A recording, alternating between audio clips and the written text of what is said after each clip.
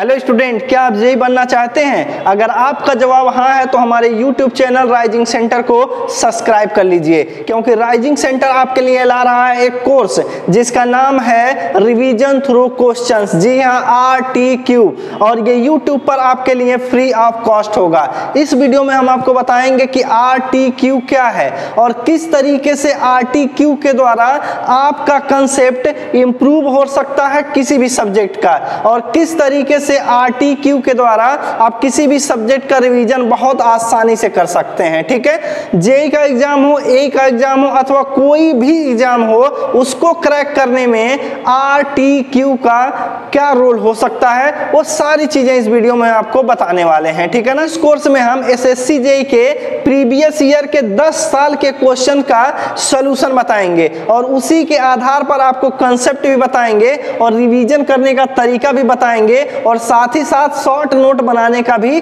तरीका बताएँगे, ठीक है? जब 10 सालों का पेपर आप सॉल्व करेंगे तो आपको आइडिया भी लग जाएगा कि किस सब्जेक्ट से कौन सा टॉपिक बहुत ज़्यादा क्वेश्चंस पूछा जाता है, ठीक है ना? बहुत सारे स्टूडेंट की ये शिकायत रहती है कि हम दो साल से अथवा तीन साल से अथवा चार साल से लगातार तैयारी कर रहे हैं डेली आठ से दस घंटा पढ़ते हैं। हम दिल्ली में तैयारी कर चुके हैं, हम प्रयागराज में तैयारी कर चुके हैं, लेकिन हमारा एक भी एग्ज़ाम अभी तक क्रैक नहीं हुआ है। हम एसएससी जेई तक को क्रैक नहीं कर पाए हैं, ठीक है ना? इस प्रकार के स्टूडेंट किसी भी एग्ज़ाम को इसलिए क्रैक नहीं कर पाते क्योंकि जब ये पेपर में बैठते हैं तो ओवर कॉन्फिडेंस होता है इनको। जैसे ये पेपर को देखेंगे बहुत सारे क्वेश्चंस तो इनको लगता है ये भी क्वेश्चन हमको आ रहा है, ये भी आ रहा है, ये भी आ रहा है। लगभग इनको लगता है कि सारे क्वेश्चन आ रहे हैं। लेकिन जैसे ये क्वेश्चन को अटेम्प्ट करने जाते हैं, जब क्वेश्चन पढ़ने लगते हैं तो होता क्या है? जब आंसर देना होता थी दो ऑप्शन के बीच में ये कंफ्यूज हो जाते हैं। ये सोचते हैं ए सही है अथवा बी सही है? इसका एक ही कारण है कि इनका जो है कंसेप्ट क्लियर नहीं होता है और एग्ज़ाम से पहले इनका अच्छे से रिवीजन नहीं हुआ रहता है। इसीलिए ये पेपर को आसानी से क्रैक नहीं कर पाते हैं, ठीक है?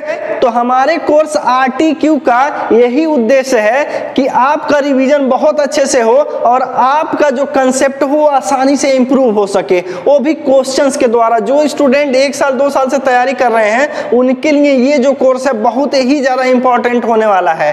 तो यदि आपका कोई दोस्त आपके संपर्क में हो, जो बहुत दिनों से स्ट्रगल कर रहा हो तो उसको हमारे चैनल के बारे में बताइए, क्योंकि इस चैनल पर कल से आपको मिलने लगेंगे आरटीक्यू कोर्स के लेक्चर इस कोर्स में हम लोग क्या करने वाले हैं, आपके इन्हीं कमियों को दूर करने वाले हैं, ताकि आप आसानी से पेपर को क्रैक कर सकें, ठीक है? चलिए एग्ज़ाम्पल के थ्रू आपको बताते हैं कि किस तरीके से आर टी क्यू आपके कंसेप्ट को इंप्रूव करेगा और साथ ही साथ आपका रिवीजन भी हो जाएगा। और एक बात और, आपको आइडिया भी लग जाएगा कि शॉर्ट नोट कैसे बनाना है और साथ ही साथ आपको एस एस के सिलेबस के बारे में पता चल जाएगा। इस कोर्स में हम क्वेश्चंस के थ्रू आपके नॉलेज को इंप्रूव करेंगे प्लस रिवीजन का तरीका बताएँगे। ठीक है ना? तो चलिए एग्ज़ाम्पल के लिए ले लेते हैं क्वेश्चंस जो कि स्ट्रेंथ ऑफ़ मटेरियल का है। ये क्वेश्चंस एसएससी में 2016 में आया है। ठीक है तो क्वेश्चन देखिए a horizontal beam carrying uniformly distributed load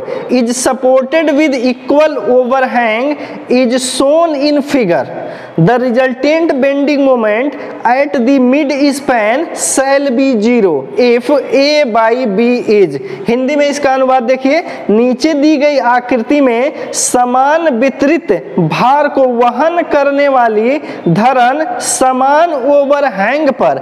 आश्रित है। पाठ के मध्य में कुल नमन आगुण शून्य होगा, यदि ए बटा बी हो। ठीक है ना? ऑप्शन देखिए ऑप्शन ए है 0.75 ऑप्शन बी है 0.66 ऑप्शन सी है 0.5 और ऑप्शन डी है 0.33 ठीक है ना? तो क्वेश्चंस में दिया हुआ है कि एक हॉरिजेंटल बीम है जिसके ऊपर यूडीएल लोड लगा हुआ है, ठीक है ना? और इसकी इंटेंसिटी जो है W किलो न्यूटन पर मीटर है, ठीक है ना? इसमें सपोर्ट भी दिया गया, अगर आप फिगर में देखेंगे तो बीम कुछ इस तरीके से बना हुआ है, ठीक है ना? सपोर्ट के बीच की जो दूरी है, ये दूरी बी के बराबर है और ओवरहैंग का जो डिस्टेंस है स्पैन की लंबाई है, वो ए है। ये ए के बराबर है, ठीक है ना?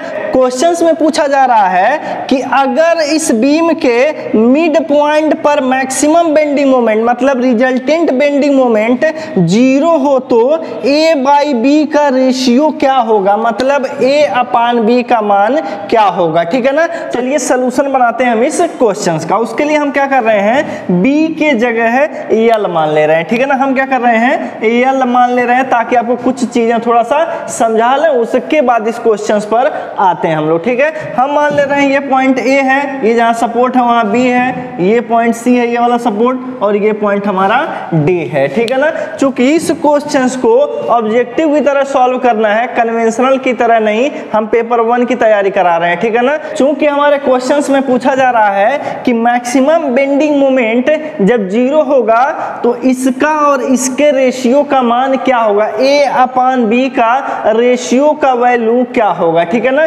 यानी कि आपको इस बीम का बेंडिंग मोमेंट डायग्राम बनाना पड़ेगा, तब जाकर के आपको पता चलेगा कि मैक्सिमम बेंडिंग मोमेंट की वैल्यू कितनी होगी। उस वैल्यू को जब आप ज़ीरो के बराबर करेंगे, तब जाकर के ए अपान बी का वैल्यू पता चलेगा, ठीक है ना? अगर आप ध्यान से देखें, ए से बी तक इतना जो बीम आपको दिख रहा है अलग से, वो कैंटिलीवर बीम की तरह दिख रहा है, और सी से डी देखेंगे तो आपको फिर कैंटिलीवर की तरह दिखेगा। अगर बीसी को अगर आप देखेंगे ध्यान से, अलग से तो ये आपको सिंपली सपोर्टेड बीम दिखेगा, जिस पर लोड लगा होगा डब्ल्यू किलो न्यूटन पर मीटर, ठीक है? इस पर एक यूडीएल लोड लगा होगा। हम क्या कर रहे हैं? पहले ए बी के लिए हम क्या कर रहे हैं? बेंडिंग मोमेंट डायग्राम और सीयर फोर्स डायग्राम बना ले रहे हैं, ठीक है ना? तो थोड़ा सा इनको हम नीचे बढ़ा लेते हैं, देखिए।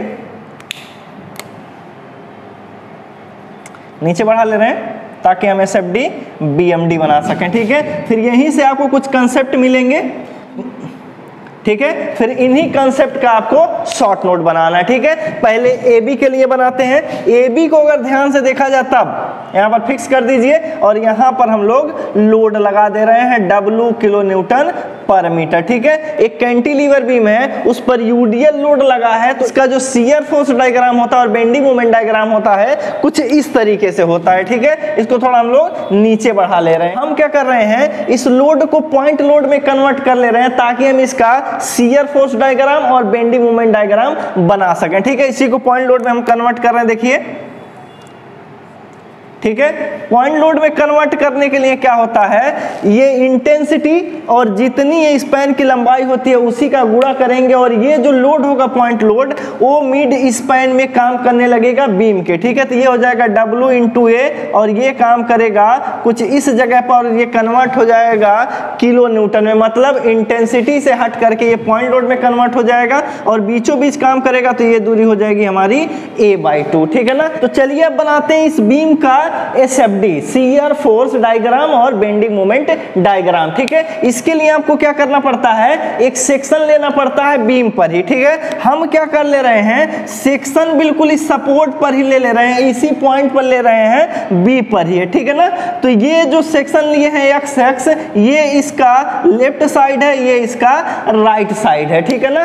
अगर कोई फोर्स सेक्शन के बाएँ तरफ़ है और उसका डायरेक्शन नीचे की तरफ़ है तो उसका जो साइन लिया जाता है नेगेटिव लिया जाता है, लेकिन सेक्शन के बाएँ तरफ़ अगर कोई फोर्स है, उसका डायरेक्शन अगर ऊपर की तरफ़ है तो उसको पॉजिटिव लिया जाता है, ठीक है ना? हम देखिए क्या किए हुए हैं यहाँ पर। सेक्शन के बाएँ तरफ़ एक लोड लग रहा है, जो कि नीचे की तरफ़ आ रहा है, ठीक है? और वो फोर्स है हमारा डब्ल्यू इंटू ए यानी कि यहाँ पर जो सीयर फोर्स होगा, वो होगा डब्ल्यू इंटू ए ठीक है? तो ये बन गया हमारा shear force diagram S F D ठीक है?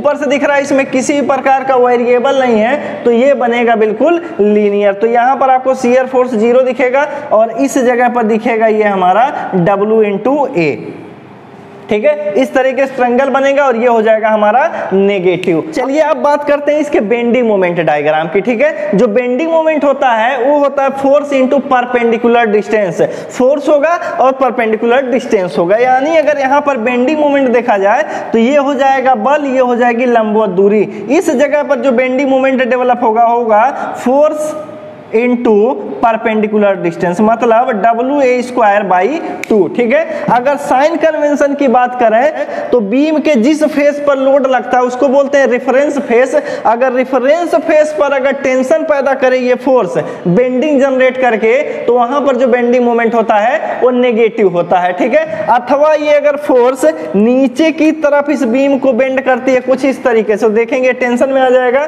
तब इस जगह पर जो बेंडिंग मोमेंट होगा, वो नेगेटिव होगा, ठीक है? तो आ जाएगा हमारा जो बीएमडी होगा, कुछ इस तरीके से होगा, ये होगा हमारा W square by two negative में। और जब बीम पर यूडियल लोड लगा रहता है तो इसका जो बीएमडी होता है, वो पैराबोलिक होता है। तो ये हो जाएगा हमारा पैराबोलिक ठीक है? ये हो गया एसएफडी और ये हो गया हमारा बीएमडी तो इस पोर्सन के लिए हमारा एसएफडी बन चुका है, ठीक है ना? ये एस बन चुका है, ठीक है? ये हो गया हमारा डब्ल्यू ए अगर बीएमडी की बात करें तब बी हमारा बन गया कुछ इस तरीके से W a square by two ठीक है? चलिए अब बात करते हैं पोर्शन सीडी की, ठीक है? जो सीडी पोर्शन आप देख रहे हैं कुछ इस तरीके से है, ठीक है ना? यह देखिए, हम सपोर्ट दे दे रहे हैं फिक्स जानबूझ करके समझाने के लिए। इस पर लोड लगा है डब्ल्यू किलो न्यूटन पर मीटर ठीक है? हम लोग क्या कर रहे हैं, इसको पॉइंट लोड में कन्वर्ट कर ले रहे हैं। पॉइंट लोड में कन्वर्ट करेंगे तो ये डिस्टेंस आपका ए है। ये हो जाएगा डब्ल्यू इंटू ए और काम करेगा बिल्कुल बीच में, और ये दूरी हो जाएगी हमारी ए बाई टू ठीक है ना? अब क्या करेंगे, अगर सीयर फोर्स निकालना है तो एक सेक्शन ले लेंगे हम लोग यहाँ, ठीक है ना? सेक्शन के अगर राइट साइड देखेंगे आप सेक्शन के राइट साइड देखेंगे तो कोई फोर्स नहीं है, यानी कि सीयर फोर्स इस जगह पर आ जाएगा ज़ीरो ठीक है? अब ले लेते हैं सेक्शन हम लोग इस जगह पर, ठीक है? जैसे यहाँ सेक्शन लेंगे तो यहीं पर हमें निकालना है सीयर फोर्स अगर सीयर फोर्स आप निकालेंगे तो सीयर फोर्स का डिफिनेशन यही होता है सेक्शन के राइट साइड में जितने वर्टिकल डायरेक्शन में फोर्स हैं, उन सभी का योगफल कहलाएगा हमारा सीयर फोर्स ठीक है? देख रहे हैं हम लोग दाएँ तरफ़ केवल, एक ही फोर्स है डब्ल्यू इंटू ए तो ये हो गया हमारा shear force at point C देखिए पॉइंट सी पर सीयर फोर्स हो गया हमारा W into a sign convention section की बात करें तो सेक्शन के दाएँ तरफ़ अगर कोई फोर्स है और उसका डायरेक्शन नीचे की तरफ़ है तो उसका साइन कन्वेंशन पॉजिटिव लिया जाता है, ठीक है ना? यानी कि इस बीम में यहाँ पर shear force W into a रहेगा और यहाँ पर ज़ीरो ठीक है? चूँकि यूडीएल लोड लगा है तो सीयर फोर्स डायग्राम जो बनेगा वो लीनियर बनेगा, ठीक है? तो इस तरीके से इसका एसएफडी बन जाएगा, यहाँ ज़ीरो और ये हो जाएगा हमारा डब्ल्यू ए ठीक है ना?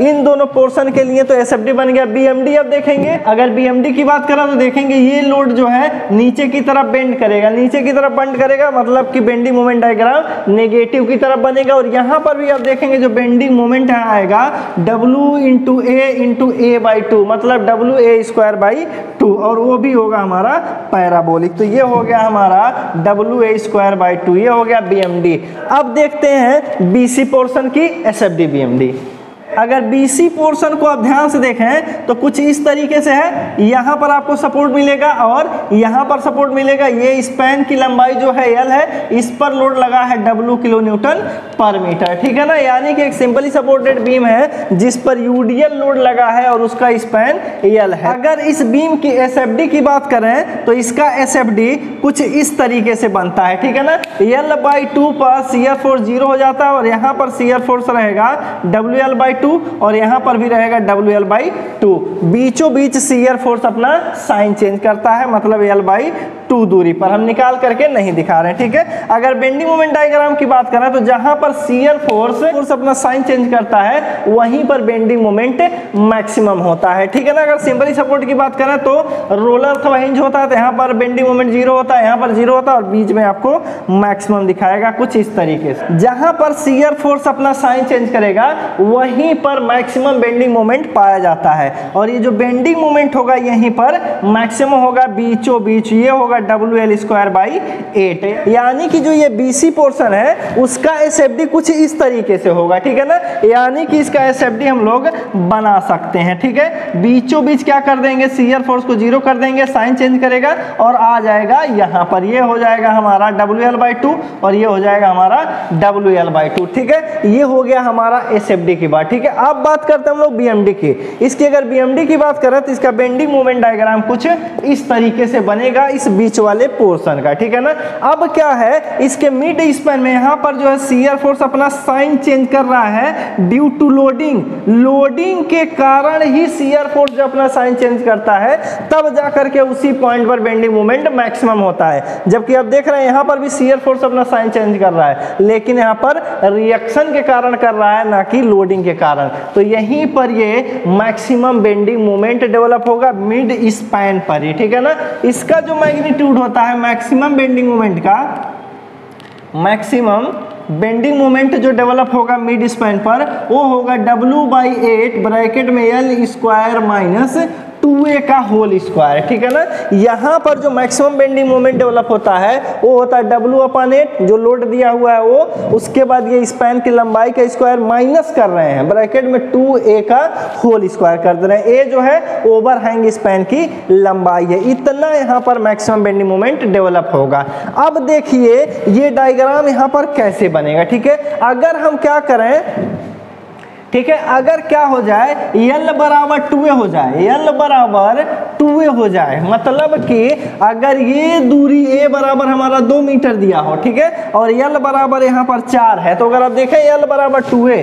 देखिए यल बराबर हम चार रख दे रहे हैं एग्ज़ाम्पल के लिए, ए बराबर दो तो ये हो जाएगा दो दूना चार। अगर यल बराबर टू हो जाए यल के जगह हम लोग क्या करें, टू रख दें तो ये मैक्सिमम बेंडिंग मोमेंट जो है तुरंत ज़ीरो हो जाएगा, ठीक है ना? यानी कि जब इसका बेंडिंग मोमेंट डायग्राम बनाएँगे तो यहाँ पर बेंडिंग मोमेंट आपका हो जाएगा ज़ीरो ठीक है? जब एल बराबर टू ए होगा तो इसका जो कर्व बनेगा, कुछ इस तरीके से बनेगा।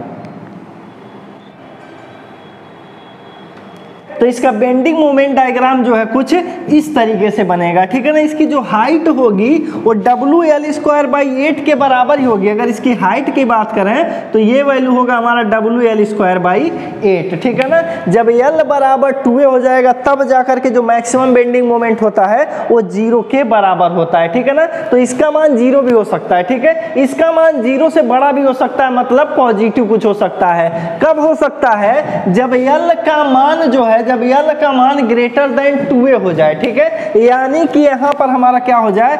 आठ हो जाए और ए बराबर टू ठीक है ना? अगर ऐसा कुछ रख दें तो आप देखेंगे यहाँ आठ लिखे हुए हैं और उसके बाद दो है और दो ये लिखा है ये चार हो गया। आप देख रहे हैं eight is greater than four मतलब यहाँ आठ रख दें और यहाँ पर चार का स्क्वायर ठीक है? तो आप देखेंगे इसका वैल्यू ज़ीरो से ज़्यादा आएगा। जैसे ज़ीरो से ज़्यादा आएगा तो हम समझ जाएँगे कि ये पॉजिटिव वैल्यू आ रही है मतलब कि ये ज़ीरो ना होकर के ज़ीरो से ज़्यादा होगा। तब इसका जो बेंडिंग मोमेंट डायग्राम होगा, कुछ इस तरीके से होगा। मतलब कि ये वाला जो कर्व है, ये L is greater than two है, और नीचे वाला जो कर्व है, ये एल बराबर टू है, ठीक है? इसका मान नेगेटिव भी हो सकता है। कब हो सकता है? जब L is less than two हो जाए। मतलब ये वाला छोटा हो जाए और ये वाला बड़ा। जब ये वाला बड़ा होगा तो सामने माइनस है, तुरंत इसकी वैल्यू माइनस में आएगी, ठीक है? तब इसका बेंडिंग मोमेंट जो डायग्राम होगा, वो हो जाएगा हमारा कुछ इस तरीके से, ठीक है? और ये वाला कर्व हमारा है लेस देन टू वे पर, ठीक है? तो मैक्सिमम बेंडिंग मोमेंट का तीन वैल्यू हो सकता है। जब एल बराबर टू हो जाएगा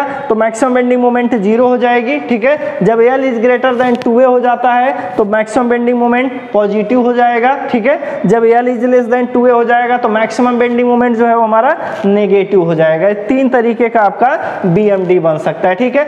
चलिए, एक चीज़ और आपको बता देते हैं। अगर मान लें हम लोग L is greater than two ठीक है? अगर हम मान लें L is greater greater than two वे ठीक है? तो हमारा जो कर्व रहेगा, ये कर्व ऊपर वाला ही आपको दिखेगा, ठीक है ना? ये ऊपर वाला ही आपको दिखने लगेगा कर्व ठीक है? इसकी अगर हाइट देखें यहाँ से तो इसकी जो हाइट होती है, ये होती है W L square by eight होता है, ठीक है ना? तो इसकी जो हाइट होती है होती है W L square by eight ठीक है ना? जो ऊपर वाला ये पोर्शन आपको दिख रहा है, ये पॉजिटिव ये वैल्यू जो दिख रही है आपको, इसी को बोलते हैं हम लोग डिज़ाइन मोमेंट इसी को कह दिया जाता है डिज़ाइन मोमेंट कह दिया जाता है, अथवा बेंडिंग मोमेंट कह दिया जाता है, अथवा इसी को कह दिया जाता है पॉजिटिव बेंडिंग मोमेंट ठीक है? पॉजिटिव बेंडिंग मोमेंट कह दिया जाता है, अथवा इसी को कह दिया जाता है मैक्सिमम बेंडिंग मोमेंट ठीक है? मैक्सिमम बेंडिंग मोमेंट अथवा पॉजिटिव बेंडिंग मोमेंट अथवा डिज़ाइन मोमेंट इसकी जो वैल्यू होती है,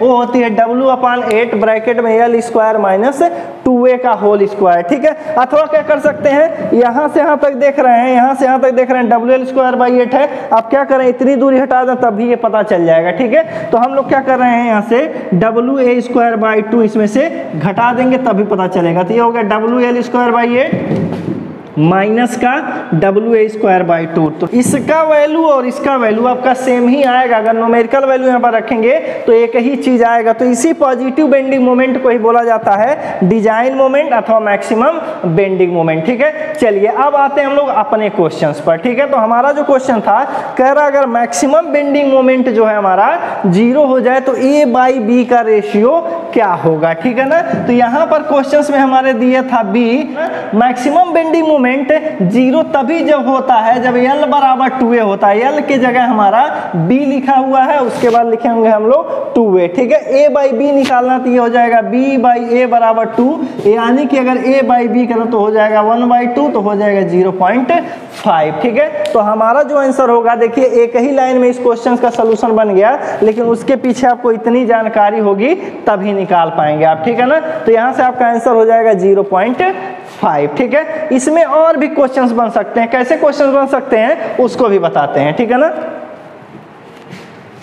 इस टॉपिक से रिलेटेड और भी क्वेश्चंस बन सकते हैं, ठीक है ना? जैसे क्वेश्चंस ये पूछेगा, इनकी जगह नोमेरिकल वैल्यू दे देगा। जैसे मान लेते हैं एल की जगह दिया है हमारा चार मीटर और यहाँ पर दिया है हमारा तीन मीटर और यहाँ भी दिया है आपका तीन मीटर, ठीक है? कह रहा है जो मैक्सिमम बेंडिंग मोमेंट होगा, वो होगा। कहेगा maximum bending moment maximum bending moment will be अधिकतम बेंडिंग मोमेंट होगा ऑप्शन आपका होगा नेगेटिव ऑप्शन बी होगा पॉजिटिव ऑप्शन सी होगा ए एंड बी बोथ और डी ऑप्शन रहेगा नन ऑफ़ दीज ठीक है? इस, अगर आप इसका आंसर चाहते हैं तो आपको किस तरीके से सॉल्व करना है, वो आपको बताते हैं, ठीक है? अगर यल बराबर हमारा टू ए होता है तो मैक्सिमम बेंडिंग मोमेंट जो होती है, वो ज़ीरो होती है, ठीक है? अगर L is greater than two A होता है तो हमारा क्या होता है? पॉजिटिव बेंडिंग मोमेंट होगा। लेकिन यल इज़ लेस देन अगर टू ए होता है तो ये होता हमारा नेगेटिव बेंडिंग मोमेंट ठीक है ना? तो पहले हम लोग डायरेक्टली चेक करते हैं, इसी पर एल के जगह हमारा चार है, ठीक है ना? और टू ए के जगह देखिए ए बराबर तीन है तो हो जाएगा तीन दुना छः तो आप देख रहे हैं छः बड़ा है चार से, यानी कि L is less than two है तो, तो हमारा मैक्सिमम बेंडिंग मोमेंट जो होगा वो नेगेटिव होगा ठीक है? इसी से रिलेटेड एक क्वेश्चन और आ सकता है। कहेगा कि अगर ये बीम दिया हुआ है तो इसमें पॉइंट ऑफ़ कॉन्ट्राफ्लेक्जर कितने बनेंगे ठीक है ना? पॉइंट ऑफ़ कॉन्ट्राफ्लेक्जर उनको बोलते हैं जहाँ पर बेंडिंग मोमेंट डायग्राम अपना साइन चेंज करता है। नेगेटिव से पॉजिटिव अथवा पॉजिटिव से नेगेटिव जाता है ठीक है? तो यदि लेस देन टू है अगर L is less than two है तो इसका जो बेंडिंग मोमेंट डायग्राम बनेगा कुछ इस तरीके से बनेगा। ये जो बेंडिंग मोमेंट डायग्राम है, अपना साइन ही चेंज ही नहीं करेगा। तो यहाँ पर क्या होगा? एक भी पॉइंट ऑफ़ कॉन्ट्राफ्लेक्जर अथवा पॉइंट ऑफ़ इन्फ्लेक्शन नहीं बनेंगे, ठीक है? अथवा क्वेश्चंस में आ जाए कुछ इस तरीके से। यहाँ आठ हो जाता जैसे आठ रखें तो L is greater than two हो जाएगा। तो इसका बेंडिंग मोमेंट डायग्राम कुछ इस तरीके से बनेगा। तो यहाँ पर पॉइंट ऑफ़ कॉन्ट्राफ्लेक्जर आपका दो मिल जाएगा, ठीक है ना? चलिए इस टॉपिक से रिलेटेड और भी क्वेश्चन देखते हैं, जो आई e में आ चुके हैं, ठीक है? ये क्वेश्चन क्वेश्चन कह रहा है for the beam shown in the given figure comma the maximum positive bending moment is equal to negative bending moment the value of L one is ये वाला क्वेश्चन क्या कह रहा है? एक बीम दिया गया है क्वेश्चन में, कुछ इस तरीके से। देखिए यूडीएल इस पर लोड लगा है W kilo newton per metre, ठीक है? ये क्वेश्चंस ईएससी में मतलब आईईएस में, उन्नीस में आ चुका है, ठीक है ना? ये आपका सपोर्ट है, यहाँ पर भी सपोर्ट है। ये दूरी आपका एल दिया क्वेश्चन में ओवर हैंग के स्पैन की लंबाई एल दिया है, और ये भी आपका एल दे रखा है, ठीक है ना? क्वेश्चन में कह रहा है कि मैक्सिमम पॉजिटिव बेंडिंग मोमेंट और नेगेटिव बेंडिंग मोमेंट जो है एक दूसरे के बराबर हैं। तो L1 का मान क्या होगा? L1 की वैल्यू क्या होगी? ठीक है ना? तो अगर इसका BMD बनाए हम तब, देखिए, ये बना दे रहे हैं हम एक लाइन ठीक है? एक बना दिए हैं बेस लाइन अब बना देंगे हम इसकी बी एम डी ठीक है ना? कह रहा पॉजिटिव यानी ये जो फिगर है पॉजिटिव में जाएगा। तो ये आपका हो गया नेगेटिव बेंडिंग मोमेंट ये हो गया हमारा W L one square by two W L one square by two ठीक है? और ये पॉजिटिव में जाएगा, फिर ये बनेगा बी एम डी कुछ इस तरीके से, ठीक है ना? ये हमारा जो ये वाला कर्व आपको दिख रहा है ऊपर वाला यही मैक्सिमम पॉजिटिव बेंडिंग मोमेंट है, ठीक है ना?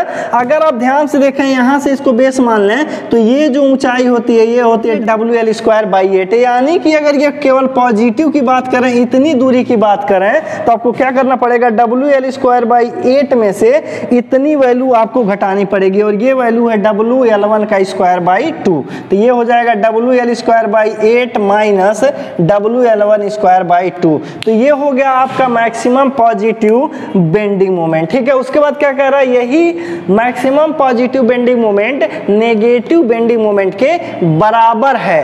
तब एल का मान क्या होगा? ठीक है तो इसको हम लोग सॉल्व कर लेते हैं क्वेश्चन के अनुसार। तो positive bending moment positive bending moment, negative bending moment के बराबर है। ठीक है ना? तो इसमें देखिए आप एल सब में कॉमन है, काट दिए। उसके बाद क्या कर रहे हैं? L one square by two को उधर भेजेंगे तो L one square by two इधर माइनस उधर जाकर प्लस हो जाएगा, और इसी में जाकर के जुड़ जाएगा L one square by two में। आधा आधा जुड़ेंगे तो एक हो जाएँगे। इधर बचा एल स्क्वायर बाई एट बराबर एल वन का स्क्वायर एल वन का हमें मान निकालना है। ठीक तो एल वन स्क्वायर बराबर लिख सकते हैं, देखिए L square divided by by eight eight को लिख सकते हैं फोर बाई टू उसके बाद क्या करना है? रूट ले लेना है तो तुरंत आ जाएगा यल वन बराबर L upon two root two ठीक है ना? इसी से रिलेटेड ईएससी e में एक क्वेश्चन और आया था 2003 में, उसको भी देख लेते हैं, ठीक है ना? क्वेश्चन कह रहा है the bending moment for which the beam shown below is to be designed is questions क्या कह रहा है कि जो चित्र में बीम दिया गया है, इसके लिए डिज़ाइन मोमेंट क्या होगा? ठीक है ना? यानी पूछ रहा है वो कि मैक्सिमम बेंडिंग मोमेंट क्या होगा? अगर मैक्सिमम बेंडिंग मोमेंट की बात करें तो इसके मिड में डेवलप होगा, वो होता है W by eight L square minus two A का होल स्क्वायर ठीक है? आप क्या कर सकते हैं? डब्लू की जगह ये लोड लिख सकते हैं, सौ डिवाइड बाई एट एल की जगह आठ दिया हुआ है तो आठ अठाई चौसठ, ठीक है? चौसठ लिख सकते हैं, फिर माइनस उसके बाद देखिए, दो लिखा है और ए बराबर दो मीटर दिया। तो अंदर लिख सकते हैं दो दूना चार और चार का स्क्वायर करेंगे तो सोलह, ठीक है ना? उसके बाद चौसठ में से सोलह घटाएँगे तो ये हो जाएगा हमारा सौ डिवाइड बाई एट। उसके बाद चौसठ में से जैसे सोलह घटाएँगे, वैसे बचेगा आपका अड़तालीस और इसको काट सकते हैं आठ छक्का अड़तालीस सौ गुड़े सिक्स, ठीक है? फिर ठीक है? तो बच्चा, हमारा 100 गुड़े सिक्स ये हो गया हमारा 600 किलो न्यूटन मीटर। तो डिज़ाइन मोमेंट जो हो जाएगा, वो हो जाएगा हमारा 600 किलो न्यूटन मीटर। तो तो इन सब क्वेश्चंस के सोल्यूशन से हमें क्या क्या चीज़ें मिली हैं, आप उसका शॉर्ट नोट बना सकते हैं, ठीक है? यानी कि ये जो टॉपिक है, ये जो टॉपिक आपको बताए हैं, ये पेपर के लिहाज से बहुत ज़्यादा इंपॉर्टेंट है। एस एस भी पूछा जाता है ई e में पूछा जाता है, ठीक है ना? यानी पेपर के हिसाब से कॉम्पिटेटिव एग्ज़ाम के अनुसार ये टॉपिक बहुत ज़्यादा इंपॉर्टेंट है। तो ये वाली चीज़ जो है आपके शॉर्ट नोट में 100 परसेंट होना चाहिए, ठीक है ना? तो आज जो हम लोग सीखे हैं, वो सीखे हैं कि इस प्रकार के सवाल में जो मैक्सिमम बेंडिंग मोमेंट होगा, ठीक है ना? जो मैक्सिमम बेंडिंग मोमेंट होगा, वो बीचों बीच होगा, उसकी value W by eight L square minus two A का होल स्क्वायर होगा, अथवा यही वैल्यू हो जाएगी W L square by eight minus W A square by two ठीक है? एक ही रिज़ल्ट निकल करके आएगा, कोई दिक्कत नहीं है, ठीक है? पहला पॉइंट ये सीख लिए, ठीक है? फिर ये सीखे हैं कि पॉइंट ऑफ़ कॉन्ट्राफ्लेक्चर इसमें कितना होगा, ठीक है ना? अगर L is greater than two है तो टू पॉइंट ऑफ़ कॉन्ट्राफ्लेक्चर बनेगा। अगर L is less than two है तो एक भी नहीं बनेगा ज़ीरो बनेगा। यल बराबर टू है, तब भी आपका पॉइंट ऑफ़ कॉन्ट्राफ्लेक्चर ज़ीरो बनेगा, ठीक है? ये चीज़ें आप सीख लिए हैं, ठीक है ना? मैक्सिमम डिज़ाइन मूवमेंट के बारे में आप सीख लिए हैं तो मैक्सिमम डिज़ाइन मूवमेंट आपका ये है, अथवा पॉजिटिव बेंडिंग मूवमेंट जो है, वो भी हमारा W L square by eight minus W A square by two है, ये भी सीख लिए हैं, ठीक है? और इसके S F D B M D के बारे में सीख लिए हैं, ठीक है ना? अगर हम स्ट्रेंथ ऑफ़ मटेरियल के S F D B M D के 10 से 12 क्वेश्चंस पढ़ लेते हैं तो आपका S F D B M D का टॉपिक अच्छी तरीके से क्लियर हो जाएगा, क्योंकि पेपर में फ़िलहाल क्वेश्चन ही आने वाले हैं थ्योरेटिकल चीज़ें नहीं आने वाली हैं जो आपके किताब में है, ठीक है? यहाँ पर क्वेश्चन पूछे जाते हैं तो क्वेश्चन का आपको जवाब देना आना चाहिए, वो भी बिल्कुल छोटे से समय में, ठीक है? चलिए मिलते हैं अब नेक्स्ट लेक्चर में।